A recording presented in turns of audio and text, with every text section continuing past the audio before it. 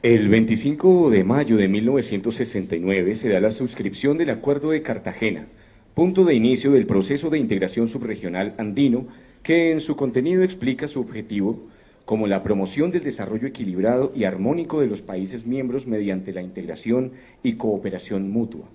la disminución de la vulnerabilidad externa, la mejora de su posición en la economía internacional. Diez años después de haberse suscrito dicho acuerdo, nace el Parlamento andino como órgano deliberante, integrador y de control político para la región. A continuación se dirige a ustedes el vicepresidente del organismo y parlamentario andino por la República del Perú, Rolando Sousa.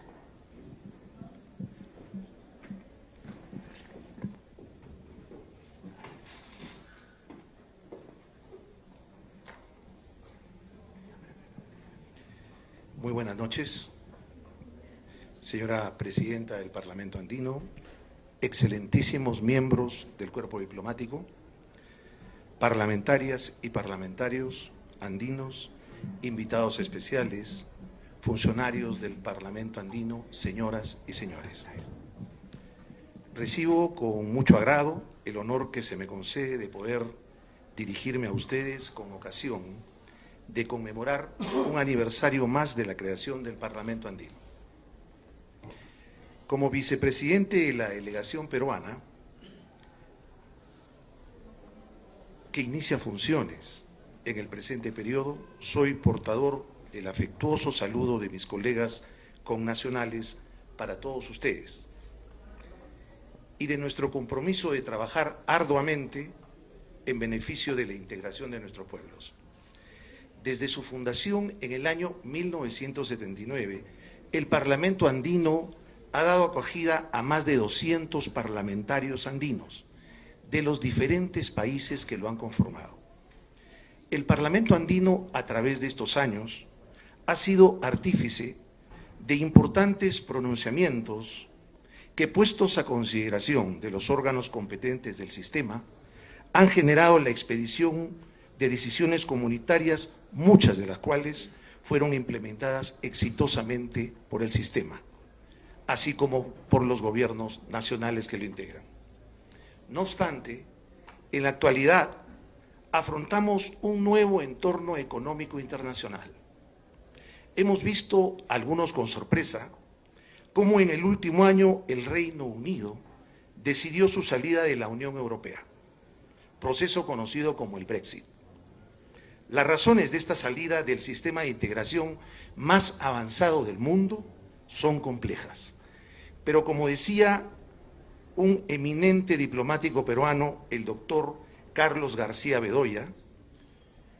los estados se integran con el objeto de que entidades separadas alcancen en conjunto un resultado nuevo y diferente, diferente a la simple suma de las partes. Ese objetivo, finalmente, es el bienestar de la población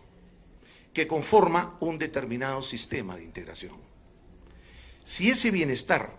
no es perceptible en su salud, en su trabajo,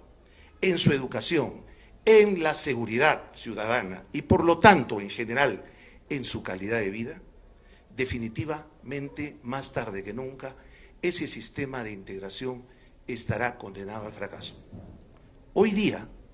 la sociedad civil y los medios de comunicación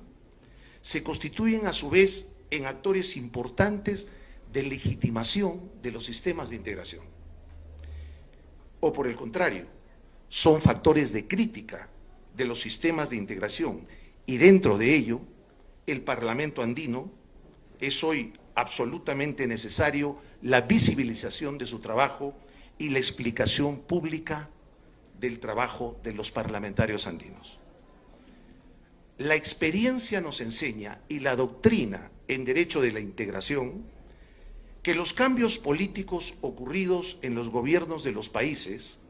que se encuentran comprometidos en un proceso de integración llevan al proceso a una de tres alternativas, o a un nuevo impulso, o a una parálisis del proceso, o a un retroceso del proceso,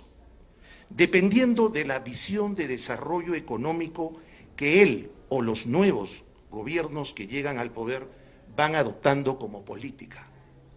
Pareciera entonces que nuestros esfuerzos deben de ir dirigidos a congelar nuestras diferencias y buscar la convergencia en torno a temas que forman parte de la problemática que nos es común. En ese sentido, la visión que tengo del Parlamento andino y de su trabajo debe estar orientada hoy más que nunca a la fiscalización.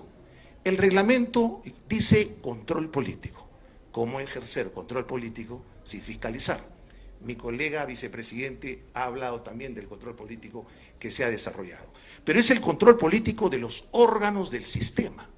no solo de la Universidad Andina, es control político de los órganos del sistema y en especial de las decisiones comunitarias y vinculantes que han sido aprobadas en los últimos años y que son realmente, hay que hacer que se cumplan esas decisiones especialmente en los tópicos que son transversales a nuestros cinco países. Me refiero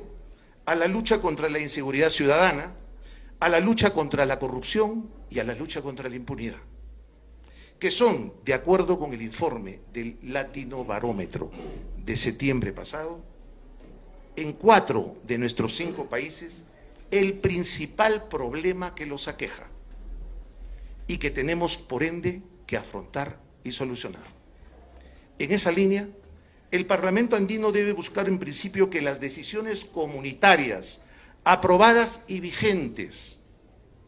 en materia de delitos transnacionales, por ejemplo, lucha contra las drogas y crímenes conexos, tráfico ilícito de armas, lucha contra la corrupción e impunidad y otras, muchas más, se cumplan y se implementen eficazmente en nuestros países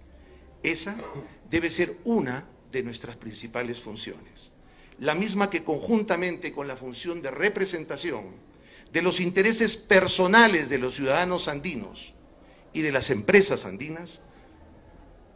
deben llevar a asegurar que estos gocen efectivamente de estabilidad jurídica, de protección laboral y previsional, de servicios de salud y se les garantice la libre movilidad humana y empresarial, entre otros. La materialización de las decisiones comunitarias en beneficio del ciudadano andino constituye, en resumen, una de las más importantes funciones del Parlamento andino. Sueño con un Parlamento andino que pueda brindar seguridad democrática a lo más de 120 personas que integran los, los cinco países. Sueño que en el futuro próximo pudiéramos estar hablando de un derecho constitucional común, de un derecho penal común con códigos civiles y penales comunes, eliminar la extradición y cambiarla por la simple entrega de connacionales, cuando por supuesto las normas lo permitan. Aspiro a que, por ejemplo, podamos vencer la amenaza latente de la corrupción con decisiones que faciliten la administración de justicia a nivel de todos los países de la comunidad andina. Es en consecuencia la hora de adicionar al eje de trabajo que venimos desarrollando en el Parlamento andino otros asuntos de trascendental importancia, los cuales han sido promovidos desde un inicio como complemento de la integración económica y que hoy deberían ser parte de una agenda de imperiosa necesidad en el cumplimiento de los objetivos que señala el proceso de integración. Hoy día, cuando comprobamos que el apoyo a la democracia en nuestra región por cuarto año consecutivo no solo no mejora, sino que por el contrario sigue en caída, es absolutamente imprescindible adoptar una posición proactiva en torno a la solución de los problemas de violencia, corrupción, inclusión, desigualdad, que no logran controlarse ni superarse. Finalmente, hago votos porque nuestros mayores deseos de progreso para nuestros países se vayan realizando con el esfuerzo y el trabajo de todos nosotros. Muchas gracias.